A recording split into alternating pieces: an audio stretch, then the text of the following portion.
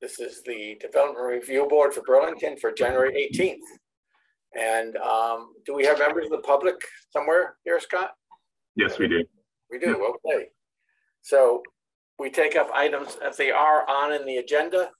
And when we call each agenda item, we'll ask the applicant or anybody else who wants to speak on that to um, identify themselves and indicate to Scott, who will admit you folks to the meeting.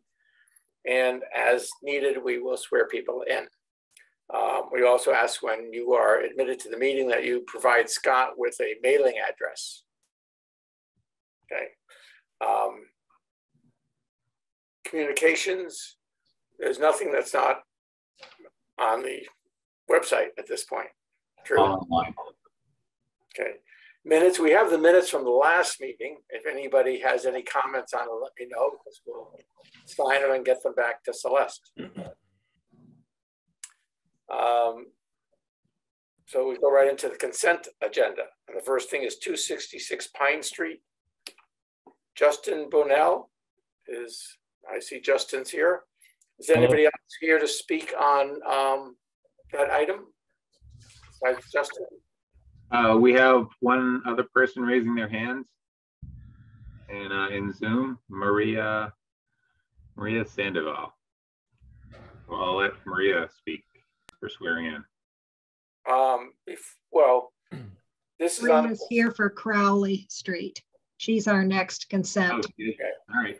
So Justin, can you hear me? Yep. Okay, so this is on the consent agenda, which means that the staff is recommending approval and we have a couple of conditions of approval on there. Have you seen that? Yes. And are you okay with that? Yes. Great. And I take it there's no member of the public here to object on this. Uh, no one has their hand raised. Does any m- member of the board uh, object to treating this as a consent item? Then does somebody want to make a motion? Yeah, I'll make a motion. Okay, Brooks, And this is uh, ZP twenty-one, seven ninety-six, two sixty-six Pine Street. I move that we approve the application and adopt staff findings and recommendations. and Caitlin seconds. Any discussion? All in favor? It's unanimous. Um, So Justin, it's approved. Excellent. All right. Thank you. Thanks a lot. Okay. Uh, next item is twenty-eight Crowley Street, and I guess Maria Sandoval is here. And again, uh, is there anybody else who, uh, is wanting to speak on twenty-eight Crowley Street? Andy Jazuski is the property owner, so he can be admitted as well, Scott. Yeah, I see Andy's hand is raised. If anyone else wants to speak to this item, raise your hand.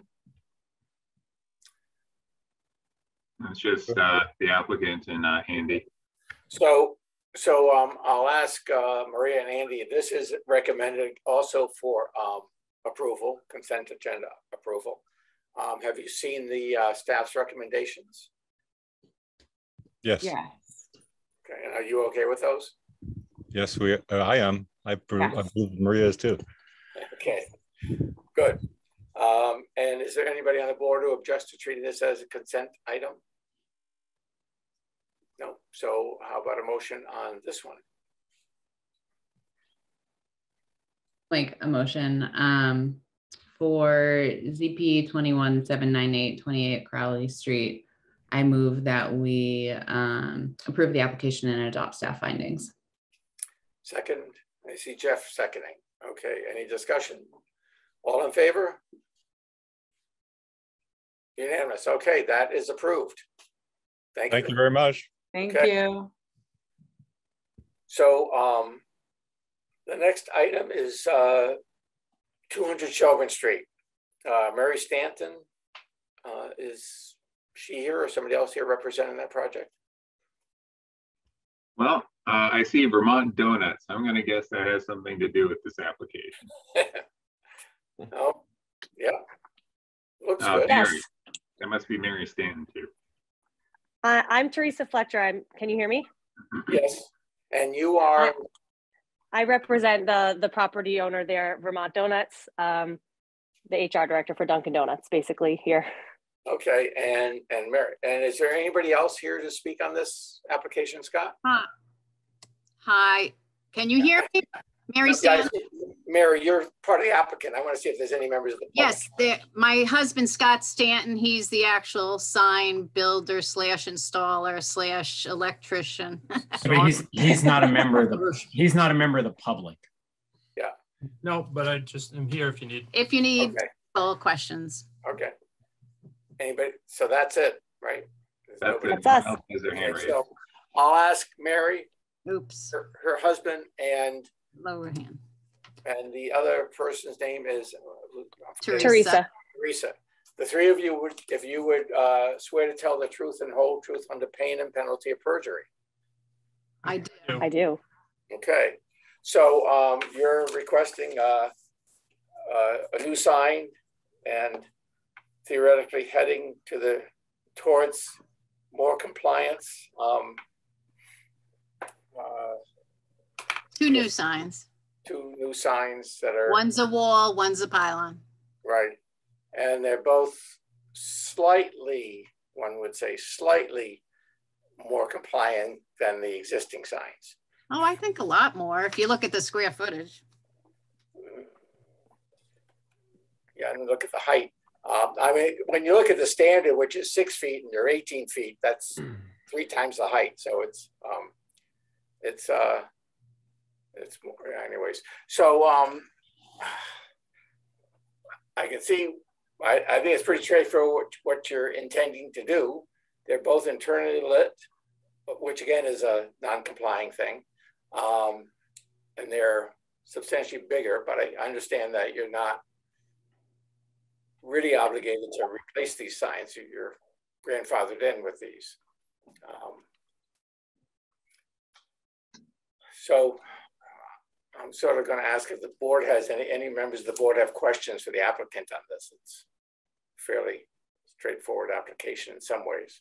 I had a question, um, because there was a note about the sign still being in the sight line for the driveway. And when I look at these two signs compared to each other, there's really more blockage from the new sign, um, at eye level for pedestrians and for cars, and just wondering if you took that into consideration at all with this design? It's, this is Scott. That, is set back quite a ways even from the sidewalk there. Um, So I don't see that as being an issue. It's set way back from the street. Mary, is this, is this yours? Was the sightline from the, their own driveway? Is that This one's mine, Caitlin. Um, the sight line starts back from the front property line, which would just be a foot or two behind the sidewalk. That's where, yeah, that's where we clear sight triangle. It goes back um like twenty or twenty-five feet. Um, where there's specific other limitations with regard to fencing and stuff, but um, the freestanding sign does have that requirement as well to to not um block view. We were trying to use the same pole and electrical. And it's only three feet wide overall. Yeah.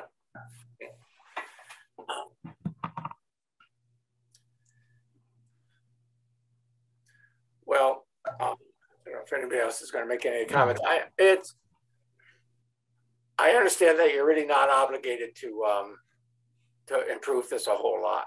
Um, so we're supposed to be somewhat, I guess, um, pleased with it moving to be more compliance, but Is that a criterion, Brad? DRB is pleased.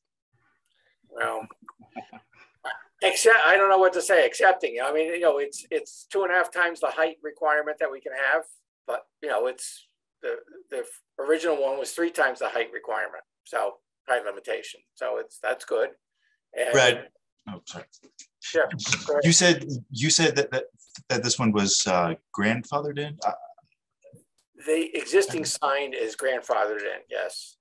Okay, Um, and so they, they can replace it as long as it moves in the direction of compliance. And Subject to our approval. that's right. Substantially greater compliance, has to be in compliance or substantially greater compliance. We've had a few of these over the years and dimensions have been the driving factor. And the ones that have gotten approved have been smaller. Uh, although what Caitlin has pointed out with the clear sight uh, item is something unique to this.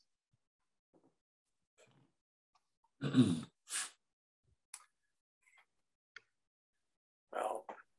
I mean, I, I think we do have a history of, of approving signs that are creeping towards compliance.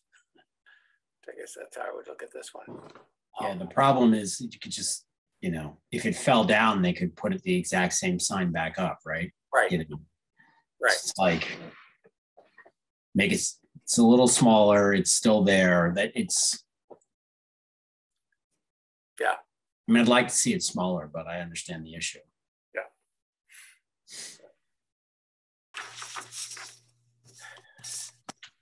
anybody else want to have any comments on this? I, I, you know, I guess I'll, I'll say to, to Mary and the applicant, I mean, obviously we're, I, I guess I'll speak for myself that it's nice that it is moving a little smaller than it is, but it's way bigger than any sign that could be installed now. So we have to look at both sides of that. You know, yes, we're, we're moving towards compliance. Um, we're not thrilled, but we may end up having to accept it. Well, the other thing too is I have to deal with um, Dunkin' Brands and what they want me to do, make for signs. I, I guess I understand that. Yes, yes, That's why it's in that vertical position. yeah, yeah. Okay, uh, any other comments from the board on this one? Um, I don't think we can want to beat this to death. Um, I guess not. Um, I guess, Mary, yeah, we will uh, probably deliberate at the end of the meeting tonight on this. Um, so, unless there's any final word you want to make, we'll we'll close. I would appreciate you um, looking that it is more towards compliance. Um, I think especially the, uh, the wall sign for sure. Yeah. Okay, And I think it looks pretty. yes, it's- it's nice and clean, nice and clean. We, we took do- donuts off the name, but not the menu. okay, good. I appreciate it. All right, thank you. We'll close the public hearing. Thank you. Thanks. So um, the next item on the agenda is 501 Pine Street. And there's a request to defer this, Scott? Um, yeah, uh, Ryan, do you want to pipe in with the details? Yeah, um, they went to DAB last week. Um, and DAB wants them to adjust a few things. So definitely gonna hold off on their recommendation to provide to you, the DRB. So they want to have time to prepare some revisions. So this is uh, deferred to a date to Uncertain, determined. Right. correct. So does somebody want to make a motion to uh, defer 501 Pine Street to an uncertain date? Make a motion on ZP 21 800 501 Pine Street. I move that we defer this item to a future DRB meeting date uncertain. Second? Chase? In discussion, all in favor? You with us, AJ? Yeah, I'm here. Did you see me? No, I didn't see your hand. My hand's over on the other side of my camera. Thanks. So unanimous. Okay, And- Yeah, yeah. so then the next item is one twenty-five South Cove Road. Uh, Cliff Deacon, uh, or David Boardman, I see Cliff. Anybody else here for this application besides Cliff? Uh, if anyone else wants to speak, raise your hand. No, looks like it's just Cliff, Brad. Okay. Um, sw- Cliff, I will swear you in. Do you swear to tell the truth and whole truth under pain and penalty of perjury? Yes, I do. Okay. Um, so this seemed fairly straightforward. The, uh, there was a few conditions. There was something about the uh, Plan 1C. Um, So I don't know, you want to make some presentation on this? Uh, no, through the DAB, we had a couple uh, options that we reviewed with them, and we all settled on one C, which I don't think this is the one, but it's uh, it's basically the compliant one. We discussed the width of the garage and what Yeah. makes the width of a garage architecturally and spatially and volumetrically. Um, but one C was uh, a good compromise for everyone to to settle on and DAB approved that. Okay. And, and you've been through the Conservation Board. They were approving it. Believe. Correct, we've, we've gone through them. Yes, sir. Um, Yeah, so classic, somewhat shingle style house. Exactly. Yeah, yeah. Um, And it's uh, in compliance with all the setbacks at this point. Um, I'm not sure there's much that we would say about it. As any comments from any members of the board? No? No. I like what's there, but this looks nice too. Okay, well, I guess we could pepper you with a thousand questions, Cliff, but I, I don't think we need to. So I think we will close the Fair public enough. hearing on this. Great, thank you. Thanks, Cliff. Okay, next, we have one more item on the agenda, which is forty-three Star Farm Road. That also is uh, to be deferred, right? When they're, uh, Yeah, they're still working on their TDM. Um, because it's uh just a site plan review. It's not Yeah. a public hearing. We don't need to do a date and time certain. Okay, Basically, it'll be in, I think, late February or early March. Yeah, you asked, Scott, you asked for, uh, or they asked for March 8th. Should we do it till a time not certain? Uh, you can do it for March 8th. I have it on the schedule anyhow. But we don't need to make a motion on this one. No, you don't. Okay. Well, I don't think there's anything we can do to make things more complicated at this point, so maybe we'll accept that it's simple. Yeah, March 8th. Okay.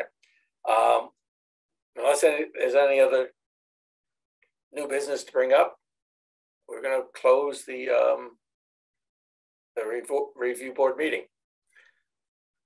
And we're going, and we have two items to deliberate. Um, for ZP twenty-one, seven nine nine, two hundred Shelburne Street, I move that, uh, we approve the wall sign with the condition, I think is the way we should do this, that the, uh, freestanding sign is not included as part of this application. I don't know, uh, that, that's what I'm gonna go with. Your second on that? I'll, I'll second that, the intent. I think we got to talk about it a little bit. Yeah, I'm not sure that gets exactly what we want, but I like the idea. Yeah, I, I think giving a little bit of reason why this, the other sign is not approved would be helpful. You know, whether we say that it, it just is. It's not substantially coming into compliance and is adding additional sightline um, Obstruction. obstruction. I'm truthfully, I'm a little ambivalent about the sightline issue and um, I, I, I'm much more focused on the um, Can we, overall dimensions. can we say that we approve the application as it relates to the wall sign, but deny the application as it relates to the, the freestanding sign? And leave it, Yeah. at? Right, but I, I- do, do we want to say that because that one should be? they can, I don't, I mean, they can come back to substantial? us. Yeah, they can come back to us with another design. I mean, I can, I mean, the intent is, it's gotta, at least from my perspective, but I think we all have different ideas Yeah. of what would pass. So I think if we just deny it outright and see what they come back at, that may get us all to agree to it. But I think we have an extended discussion about what they need to do to, to have it passed tonight. But I think we should have the words in there that is, does not, is not substantially more compliant. I think those Yeah. words should be in the, um, motion. if I'm that's- good with that. You're both good with that. Yeah, I'm good with that. Any other discussion on this? AJ? Yeah, I mean, I just think we should be a little, because, you know, it's not, I don't think we need to say it, but we should think about this. We've let people, you know, people might say, well, why can't I just replace the sign in its exact same size? Um, you know, if the thing caught fire, I think they'd have the right, or if someone plowed it over with a truck jumping the curb, they'd have the right to put it up exactly as they're putting it up. So it's a little funky that when they're coming to sort of put a new sign in and that we're saying, no, it's not in substantial compliance. Um, it's just something we want to think about next time we have one of these issues, because it does come up. So I'm fine with the decision tonight, but Is that there's no real way to ordinance- is that articulate. An, an, an ordinance issue to you, or like, cause that's how the ordinance is written, it's. it's Yeah, I mean, Discretion. it's also how the law exists, right? If it's non-conforming or whatever, and you didn't take it down, your non-conformity burns down, then you're good to go. I'm not sure who um, said this to me, but somebody said to me that the intent of zoning was to move properties in the direction of compliance. It's black letter law. Yes. And, and I think that's really what we're trying to do here. We're trying to move things in the direction of compliance. And, you know, we're taking, sort of saying that this is not moving enough in that direction. Right. I, I agree with that. I think that's, that's what we're trying to get to with this particular case. Right. Okay. So we have a motion, a second. This is more discussion. All in favor of the motion? One, two, three, four, five. HA, oh, okay, okay, six, six zero. On ZP twenty-one, seven ninety, one twenty-five South Cove Road, I move that we approve the application, and adopt staff's findings and recommendations. Second, Second. Brooks. Any discussion? All in favor? Opposed? Okay, well,